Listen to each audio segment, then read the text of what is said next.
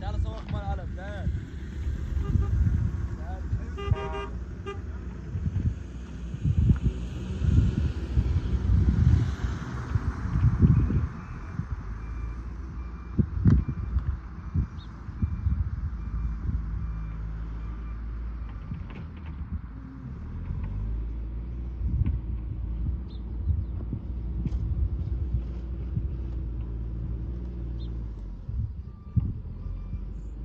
I think we should free Palestine.